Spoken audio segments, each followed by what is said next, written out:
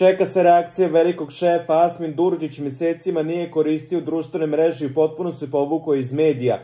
Međutim, sada je rešio da obnovi sukob sa Neli Ahmić. Njega je iznerviralo to što je Neli u realitiju rekla da Stanija Dobrovi zajedno sa njim želi da je oduzme čerku Noru, pa je morao da reaguje. Iznao je sav prlja veš iz odnosa sa Ahmićevom. Asmin je demantovao ove glasine i rekao da Stanija nema nikakve veze sa njegovom borbom za starateljstvo.